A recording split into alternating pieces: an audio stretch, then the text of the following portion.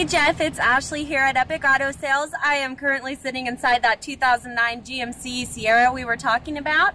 I just wanted to take a second and introduce myself to you and take you on a short tour of the truck. So here we go.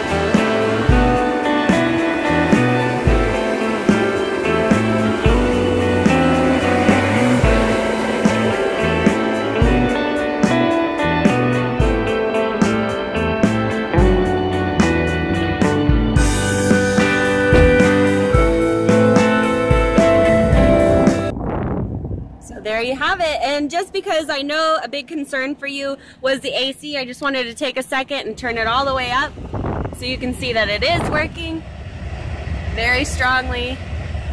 Feels good in this Texas heat. Okay, Jeff, I will see you soon. I hope you enjoyed this video. I hope it was helpful for you.